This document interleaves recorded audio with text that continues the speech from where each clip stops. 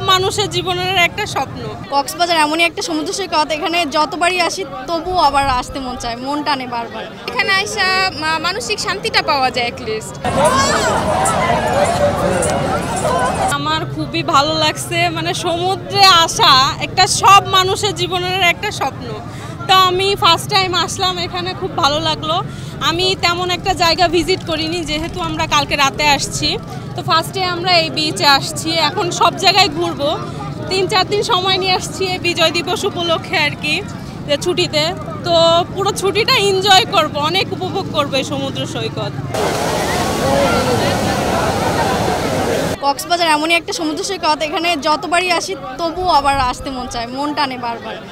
আর December বেবিদের পরীক্ষা শেষ, এই জন্য মানে এখানে এক্সাম শেষে আর কি ষোলোই ডিসেম্বর উপলক্ষে এখানে আসছি ঘুরতে। মানে যতই আসে এখানে আসা আসলে আবার আসতে মন চায়।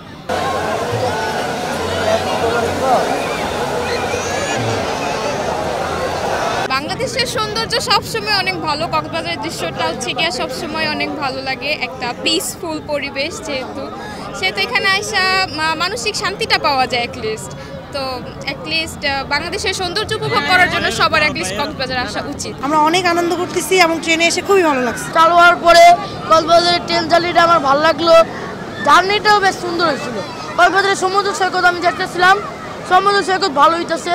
ভালো ভালোটা যদি খেললাম এটাও ভালো। লাইফে এক্সট্রা স্ট্রেংথ ও কনফিডেন্স পেতে নাও বুলডোজার বুলডোজার পারলে ঠেকাও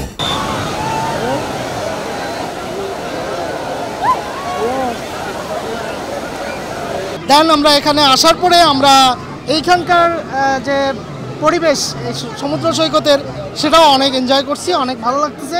একটা ট্রেন তো এই জন্যই তো আমরা অনেক আগ থেকেই আমরা ট্রেনের টিকিটেরই করছি কিন্তু আমরা পাইনি। দেখায় যে সিট খালি আছে কিন্তু পরে আর যাই আমরা পাইনি। যে পুরো ফ্যামিলি নিয়ে সবাই একসাথে সমুদ্র সৈকতে আসছি আমরা ঘুরতেছি একসাথে আড্ডা দিতেছি এটা উপভোগের বিষয়।